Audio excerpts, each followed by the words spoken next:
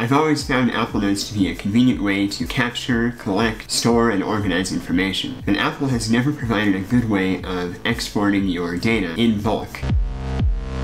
Hello everyone, my name is Constantine and today I'm going to show you how to export your Apple Notes. This video is basically a follow-up to my 2022 video where I made a little Apple script that exported all the notes in HTML format. Uh, this time, for the last few months, I've been working on a standalone Mac OS app to export Apple Notes. This was my first coding project or app that I have created using Apple's Swift language. This is my first Mac OS or iOS app, and to say it's been a learning curve is kind of an understatement. So I had to drop PDF and RTFD from the list of formats that you can export in. The reason being is exporting PDFs with Swift is downright esoteric. You know, some people say that you need to create a web view and then render it off screen and then render your HTML into the web view and then create a print from that web view and print it into PDF all while hiding that from the user. And that's hard because you can't do that on the background thread, so it has to run on the main UI thread anyway. Some people say to use these old Cocoa libraries.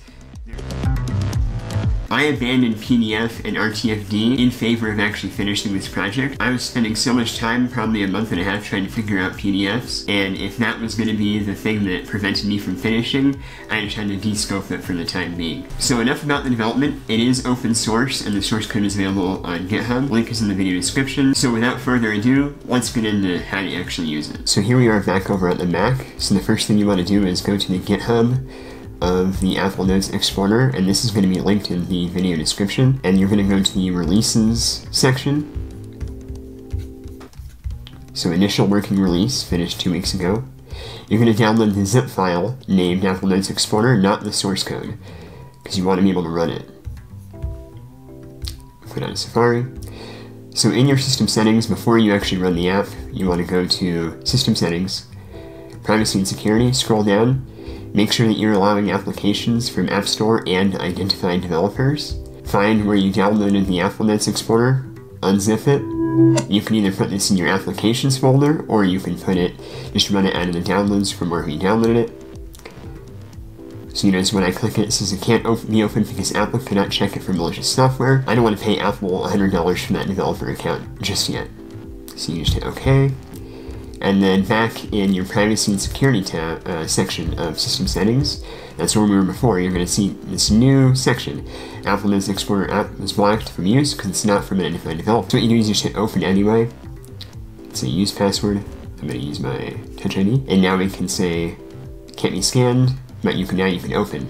So here's the Apple Notes Exporter. You can close out of system settings now.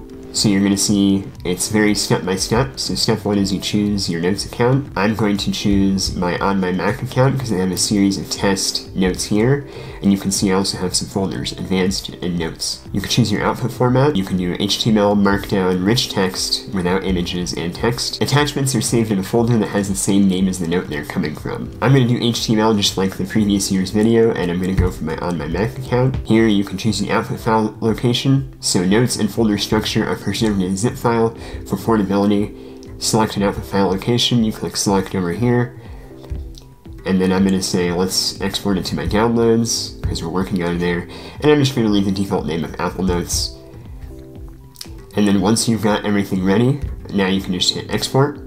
This shade will come down. Um, right now I don't have any indication of progress. That's something I'm going to add in the future. It is still running on an Apple script backend to actually interact with the Apple Notes app, so it is slow in that regard, especially for getting all these attachments. So for a handful of notes, this actually takes uh, a few minutes. So if you're one of the people that has, you know, hundreds and even thousands of notes, it, the app will take a while to export them. It will reliably export them, but you will be waiting. This is something I'm be working on in the future. So the app is back to normal, and we can see an output zip file.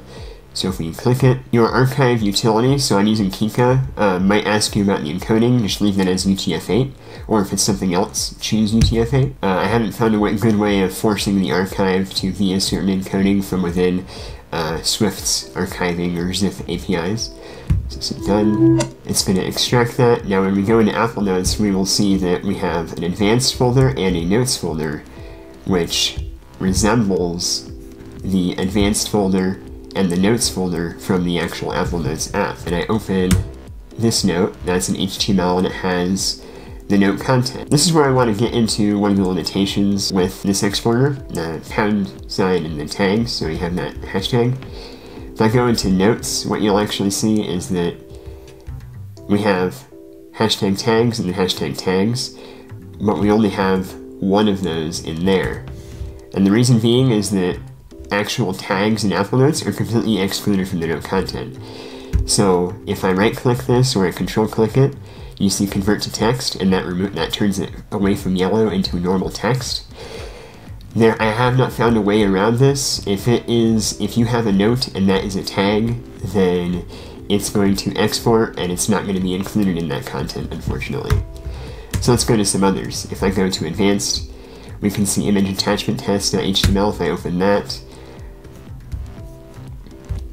We have the title of the note, we have varying formats, uh, and then we have our images in line. And then as well, we have inside there the things that can't go inline into HTML like a PDF. That is going to be um, in this folder, which has the same name as the note, just with attachments at the end. So that's where you'll find your attachments. And likewise with like uh, testing modes, like this is your unordered list, these are list items, this is a table. So it's pretty good at getting the format in native HTML. You can also export into Markdown to then copy those Markdown files into Obsidian. Thanks for watching this video until the end. I hope that my tool has helped you export your Apple Notes. Please be sure to give this video a like, comment with any issues or suggestions, and share this video with your friends that also use a Mac and Apple Notes and that could find some utility in the script I made. Thanks again for watching, and I'll see you all in the next one.